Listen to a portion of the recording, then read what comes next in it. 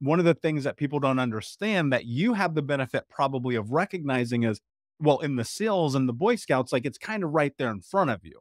And then right. when you're in real life, uh, excuse me, I don't want to use it that way. When you're in civilian life, or if you're if you've never been in the military and you're out here in the world, it feels like you're on your own. But the truth is you're not. But you're going to have to invest time, effort, energy, or money to build a team around you to help you move forward into what it is that you want in life. Now, part of what I think is really important in that is having clarity and understanding what it is that you want to accomplish. And you said one of the reasons why people will come out of the military and just kind of be stuck rudderless without in a boat is not having a mission any longer. Let's talk about this, this mindset about the SEAL mindset and, and this naked acronym that I know is a big part of your life and discovering this mission. Talk us through this journey of how you kind of went from that transition of, okay, life's a little chaotic to, ah, I'm going to be the one to create the mission now. So, and that's a great segue. So, you know, kind of like what I talked about before, you know, I, I went out and found coaches, business coaches. I decided after someone calling me out saying, you start your own CBD company, you know, all the business coaching out there, you know, the sort of high end, they're like, you know, you need a, you need a mission, you need a why. What is your why? And I've talked to some other people about this. And, and so I looked at my own journey uh, from like joining the, the military to transitioning out of the military and then I'm like, well, I'm a veteran. I have some disabilities here and there. And, uh, and so let's see if what I'm starting, the CBD company, Naked Warrior Recovery, can help other people and maybe other veterans. And I look to look, look to see like how many veterans kind of suffer as they get out of the military. And when I was doing that research, I found that 22 veterans take their lives every single day. We've lost more veterans to uh, suicide than we have to 20 years of sustained combat. And this is this this is the 20th anniversary of of 9/11. So we've lost more veterans to uh, to suicide than 20 years of sustained combat. And and I was kind of looking at this, you know, very recently, and I was like, oh my God, my dad killed himself. My dad is one of those 22 a day. So our mission at Naked Warrior Recovery is, you know, 22 to zero.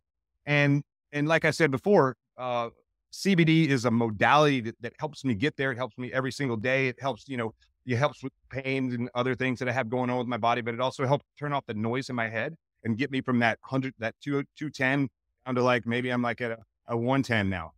Um, but you know, the other part of it is, is mindset. And so I came up with the get naked mindset and what get naked is. And I love wearing shirts out there or hat and people are like, what is get naked?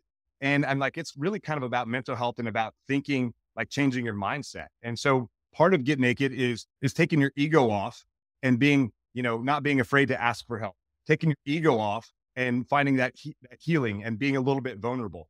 Uh, the other part of get naked, naked is an acronym. So the N is for never quit. Let me see if I can point to that on my shirt. So the N is for never quit. And I don't mean like never quit, you know, smoking or drinking or doing drugs or porn or whatever, whatever your vice is. I mean, if you start something then you should, it's never quit on yourself. You should follow that thing all the way to the end. And I know it's hard and it could be unattainable. And many people think that SEAL training is unattainable. But you know how we do it in SEAL training is we go from one evolution to the next. And so Hell Week, I'll just use Hell Week as an example. Hell Week is five and a half days. It's you get no sleep. But actually, we slept for about two and a half hours during Hell Week. And but they feed you four times a day because you're burning a lot of calories. You're running around, you're cold and wet and miserable, and you carry this boat on your head uh, in your boat team. And, but all you have to do is like, it doesn't matter how bad it gets. They're always going to feed you. So all you got to do is make it to the next meal, or you just have to make it to the next evolution. You know that they're going to only keep you in that Pacific Ocean, which the water is really cold. For those of you who don't know, Southern California, the water's cold except for about two months out of the year. And, uh, and you'll be, you know, shivering, jackhammering, completely, you know, lose total bodily function. And, and then some point they're going to get you up and they're going to start running you around and warming your body core temperature up again. So all you got to do is make it past that one thing. You just got to make it past the next evolution. You just got to make it to the next meal to get through that. And that's that is all BUD/S is. It's just like small victories. And this is something we also learned in um in like POW school, like when I was a prisoner of war. Like if if the if the interrogators were uh told you not to do something, if they said don't look left, you know, when they're not looking at you, you totally look left. And maybe you want another little small victory there and you totally look right. And what, when you achieve those small victories, in your mind, you you win every single day. So you just start stacking those wins, and that is such a huge um uh, win for your mindset. Like when you like, dude, I'm a winner. Like I'm not losing at everything in my life. You know, it doesn't matter how bad it is. It doesn't matter that I haven't eaten for a bunch of days. It doesn't matter that they don't let us sleep. It doesn't matter that I'm cold and wet and miserable. I won again and I beat you again and I won and I won for myself. And you stack those small wins, those victories. You know, people say that uh, Rome wasn't built in a day, but it was built every single day. And so you, you know, you just have to go out there and achieve those small victories every single day. It doesn't matter what you're trying to achieve, just never quit. The N is for never quit. The A is accept failure. And we talked about failure a little bit earlier. And if you think about some of the biggest successes in history, you know, let's just say, uh, golly, I always forget his name. Um, Thomas Edison. That guy, he discovered 10,000 ways to not create the incandescent, incandescent light bulb. Uh, Elon Musk fired as a CEO from the first, uh, first company he started. Steve Jobs, same thing, fired from Apple. He started Apple, fired, and then, you know, failed, created another company, then came back to Apple and made Apple, you know, one of the biggest companies in the world. Uh, Michael Jordan, arguably the best basketball player of all time. He has missed more than 9,000 shots in his career. He has, I think he's missed more than 29 game winning shots. He's lost more than 380 games in his career. But still, you know what he would do after he failed if he missed a shot? Game's over. Maybe he won. Maybe they lost. He didn't go celebrate. He went back and he practiced that shot that he missed every single hours. Just like go back to that spot, play it again, shoot, go back to that spot, play it again until he never missed that shot again. And so he took that failure as a learning uh, process. And so, you know, what I what I like to tell people is failure is the foundation of success. So you you know you have this like obstacle in front of you. You you maybe you fail and you fail and you fail, and then pretty soon you create this giant foundation of failure. All you have to do is hop over that obstacle and you're going to be successful. So accept failure. The K is kill mediocrity. And, and, you know, we're surrounded by mediocrity every day. And, and, you know, I think mediocrity is kind of quitting on yourself a lot of times. And I'm certainly guilty of it. I've certainly had moments of like quitting on myself. You know, the first time I took the, the SEAL screening test, I quit during the test because I was like, oh, I'm so tired doing these push ups. Now, when I look at it, I'm like, really? How did I quit during that? But I did. And so my mind wasn't strong enough. I wasn't ready for that at the time. And so, and so I have some regrets for that, but I also have, I'm, I'm grateful for that. But, you know, you know, we're surrounded by mediocrity every day. We can, you know, push a button on our phone and a car shows up, which is awesome. But we can also push a button on our phone and Amazon Prime delivers ice cream to our house in like 30 minutes or less. And uh, so we're used to like scrolling and, you know, getting sucking into our phone. And and just becoming mediocre and finding excuses to not do things that we need to do, like work out or get that project done or hit the snooze button in the morning and not getting up and getting after it. Um, so we have to kill mediocrity kind of in our own life, and then we will achieve success. We'll get our mind right. We'll have purpose. We'll have mission. Um, the the E is the E is exposure fear, and I don't mean like you know the things that go bump in the night. I mean the things that are living in the deep, deep back in the back parts of your brain in those dark places. Fear, I like to say fear is kind of like a vampire. Fear that it lives in the darkness and it sucks the life out of you. And you know, really expose your fear. When I became brave enough to expose my fear to other people, my fear of failure, my fear of like what other people might think of me, all these other fears of looking weak and, and you know, not successful and whatever.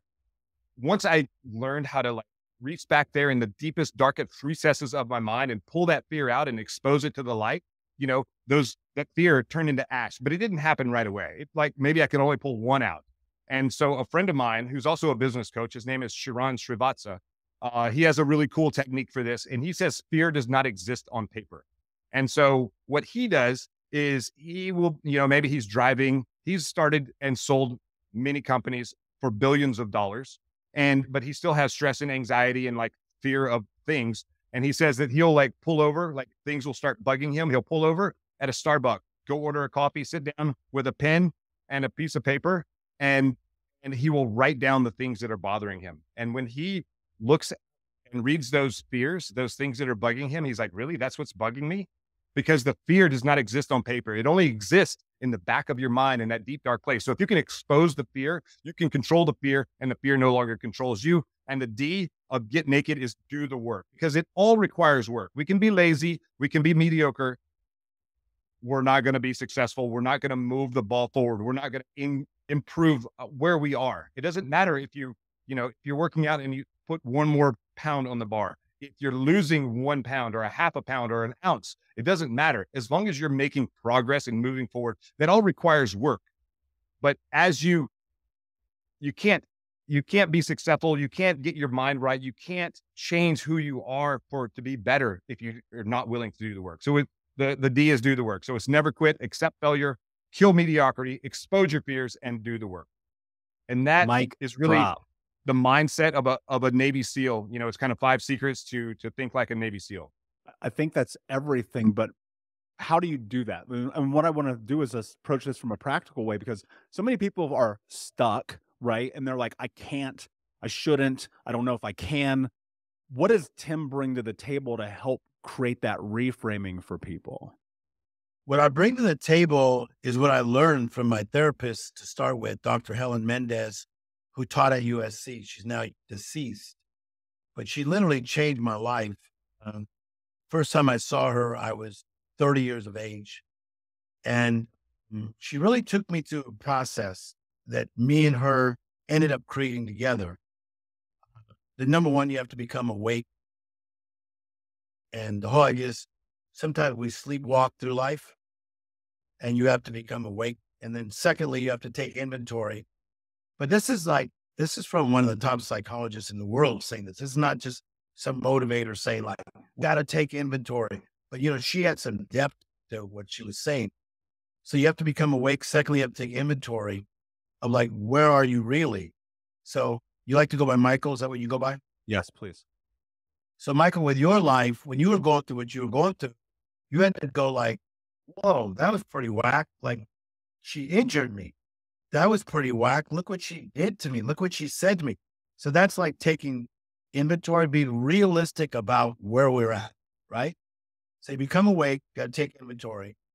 Number three, and this is what you're doing on Unbroken, you have to partner with the right people. And this is where people miss it. You have to partner with somebody who's stronger than you, more knowledgeable than you in this particular area that you're trying to turn your setback into a comeback. Make sense?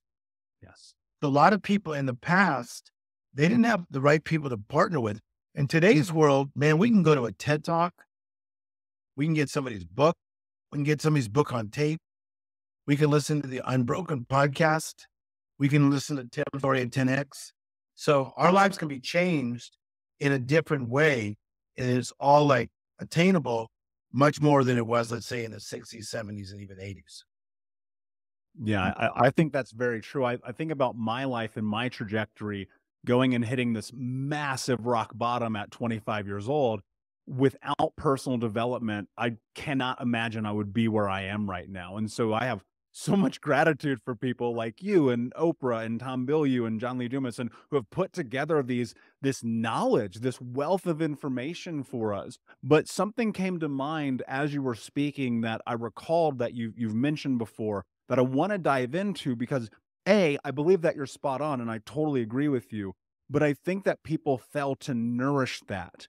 And you said something that has held true in my life for a very long time he who works his land shall have abundance. Mm-hmm. Can you talk about the parlay in that experience and and that growth? Yeah, and it really goes with these points. So you have to become awake, take inventory, partner with the right people. But your land is what's in front of you. Okay. So like with with Michael's land, as a 25 year old who found out you were in a setback, in order to get out, you had to become awake, take inventory, and partner with people. So let's say people then gave you advice. Okay, you're struggling with addiction. This is what you need to do. You're struggling with self esteem, self worth. This is what you need to do.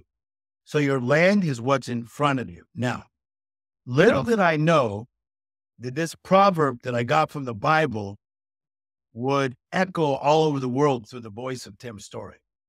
because this is what I'm really known for. And now I've been to 76 countries of the world. And soon it'll be 79 within the next four months. And he who works his land is Proverbs 12 11 shall have abundance, but whoever chases fantasies lacks wisdom. That's Proverbs 12 11. To work your land means you got to plow the ground, you got to plant the right seed, you got to water the seed, then you'll get the harvest. Michael, everybody wants a harvest without the plow, plow, plow, plant, plant, plant, water, water, water. Then you get the harvest. How powerful is that? You got to plow, a plant, you got water, then you harvest. What would you say to those who hear this and they look out their door and they say, Well, my land is barren and burned? Well, I would say, number one, that I understand that because it could be they were abused. It could be they lost everything because of a setback. It could be they have cancer. It could be they're struggling with anxiety, mental illness. So I'm not giving quick solutions here. I mean, I'm the guy that gets in the trenches with the biggest celebrities in the world. And um, and when I'm with these people, male and female, I'm not always trying to give fancy answers. I'm just like sitting in the in the in the crap with people. That's my strength. But when they're ready to hear, then I do believe this. I believe that life will make a way where there seems there is no way and you look at where Oprah Winfrey started, abuse, early pregnancy by her, losing a child, um, feeling unorthodox, trying to find her way. And she is one of the most well-known person on the planet from Mississippi. She was hurting in Mississippi. Now one of the most well-known people on the planet. So you never know what's going to happen if you're willing to cooperate and plow the ground, plant the seed, water the seed, and reap the harvest. Sometimes you got to see things that are not there yet by faith. What kind of role has being transparent played in your life? Because I'm, I'm obviously getting that tremendously here in this conversation, but but how does that play it over into the other aspects of your life? Yeah, so definitely being transparent is a big one for me. And the most personal example, like dear to my heart for me, why I do, I got a million examples, but the one that's definitely most relevant in my life and that kind of came full circle for me is in my family, my grandma was very open about our condition. She always did kind of like, you know, um, not experimental, optional procedures. That's the better word. Optional pr- procedures to develop research for our condition and she always reached out to support groups. That was her thing, and she rubbed that off on me. I'm not going to lie, because when I when she used to take care of me, that that resonated with me, and she really liked that. And then you know, her sister had it. She was kind of the opposite. And in my family, you know, we say like my mom was more of an Abrani, my grandma's sister, who was a little more quiet about it. And you know, it's it's tough things to talk about. I definitely understand that. But for me, it was like this thing that was kind of half talked about in my family. It wasn't really fully talked about, especially not on the other side of my family that wasn't affected by it. You know, they always knew we had something and they respected it, but it was never really talked about. And so for what my mom specifically, she was always kind of the type never to to like talk about it or be more open with it. She was a little more pleased with her own, with our condition. And then as I started to be more open and accepting of it, she became more open and accepting of it as the years went on. So then, you know, I eventually, you know, I think it was like 20, when I was 23, 24, so two, three years ago, or 2019 is when my grandma got sick and she had a terminal cancer. Uh, it was unrelated to FAP, which is, was, was her wish. That would have been pretty devastating for her. But um, I remember towards the end, you know, we were having heart to hearts and whatever, whatnot with her. And my grandma told my mom that, you know, she needs to get tested uh, for, you know, get her a stroke test to make sure that she's okay. And she basically said, you need to do this for Michael because Michael didn't give up on you. You can't give up on. it. And that's what my grandma said to my mom. And then so my mom went and she got her stroke test. My mom has a very complicated medical history. So to not go into detail, especially since I'm not really 100% sure, we're still not all 100% sure, but they found something that they had to remove and they had to do a reversal to what she had done to her to what I had, which five years ago we were told wasn't possible, right? So they find something And this test was obviously done. So we find out that my mom's going to have to have like two to three operations over the course of like the next year. And that year just so happened to be the pandemic. So actually, my mom's last operation came in March of 2020. She was still in the hospital and had to get whisked out with all the craziness going on in New York City. So that was a very, very dramatic time. But the point being of this story is my mom got that test done because my grandma told her to, because of, you know, how I chose to be transparent and open with everything. Because my grandma basically told her, you know, you can't give up on my goal because that's the route I chose, right? So my mom would have been a Ronnie and not gotten her test done. But she did get her test done and they found it and she was able to be safe because of it. And I remember during the pandemic, you know, when I was taking care of my mom because I had to send her home early because of all that craziness. She still had like tubes in that I had to take care of, whatever. But like, you know, the operations went well and I just had to play home nurse for a little bit. So when I was playing home nurse with her, you know, we kind of had a conversation and we were saying like, you know, if I hadn't been so open, what would have happened? And, you know, my mom's like, honestly, I'm not sure. I, I mean, I don't think we would be in this position right now. You know, that she would be here and we would all be here in this position. And that's just one example where my mom's life was impacted by, and I don't know if you could say saved, but she at least went to get that test, which which is something she swore she would never do, never do. She swore that she would never get operated on again. And she went through three surgeries again. And, you know, in a way, it was a full circle moment in my life too, because I remember when I was, I was at school and this was happening. And I remember on the day of her six hour surgery, I was a nervous wreck. I was checking the clock. I had a friend come up from, from school to hang out with me to keep my mind busy that day. But for the first time, I was kind of in her shoes when I was under the knife, you know, like I was clock watching and, and really scared and concerned. And like I knew, I knew my mom, so I knew that, you know, she always said in the past that she would never get operated on again you know, we're a religious family. She said, when my time comes, my time comes. And she was at peace with it. And, you know, she said, I got, you know, 40 good years after my surgery, you know, that, that was her, her view. And then her view changed. And, you know, now she went through it, all the things that she said she would never do again. She went through it going under the table again and getting operated on. She lived a couple months when an ostomy died, which was temporary, but in between surgeries, again, another thing she swore she would never do. So I was kind of worried. I said, okay, now the surgery's good. When my dad called me and said everything went well, it's like, okay, now I know the recovery's coming. So I just, I was worried if she was going to be up for the task mentally, right? Because that's what she was worried about me. And then in a way, I was kind of like her, you know, I was like worrying about her well being when she was worrying about mine.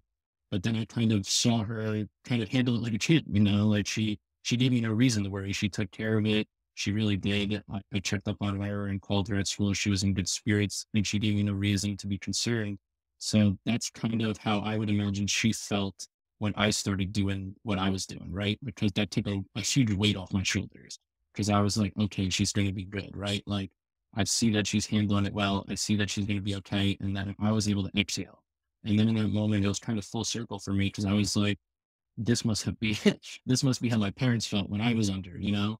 And just to kind of see that the, the parents took all those years ago when all these things happened, you know, I had a bunch of paths I could take. I could take the silent route and not talk about this and do the thing that my family had been doing, or I could take a different thing and be open about it. And that could, you know, make that was like the mystery route. You know, you never really know where that's going to lead. And you know, the other one you do, but it's a little more predictable in bad ways. So I just kind of, I made the choice in being fully transparent because it just gave me more it added more meaning to my life with it, it, deepened my relationships within my family number one and i think that's obvious with just my parents and my immediate group around me in that story i just shared. But also for me i think it's just helped me live a much happier authentic life. Like i remember back when i was like 20 21 and 22 those were like the years where like i would tell some people but not tell other people and i was like in and out you know like i was kind of I was in like a halfway where I was like, do I want to be fully open about this and really go with it? Or do I just want to only let certain people in on it? But then I, I learned through a series of like events at my job that I read about in the book at different jobs I had where like I didn't tell people and they gossiped about me. And, you know, at one of my jobs, because I was in, you know, the bathroom once, and it's I'd be in pain, whatever, you know, standing on my feet, serving and all that. I had people who accused me and went to my owner, uh, the owner of the place I was working at the time, and said I was doing drugs, and they They thought I was doing drugs. So that's I was giving by not being transparent about what had happened with me, talking about something that I literally had no control over, right? It's not like I chose to have any of this happen to me. It's not like this is no dictating who I am as a person. So why is it a big deal? And then I kind of realized at that moment, like I was giving these people power to say I was doing drugs or to say I was doing this and to lie about me and make me a fool. And I realized when you're more transparent and open, you you take that power back from people. You know, you take control. They can't do that to you. So that that was the catalyst. Those two things were catalysts to make me go, you know what? Let's just be transparent because there's pros and cons to everything in this life. But the pros definitely outweigh the cons as far as being transparent as opposed to being negative.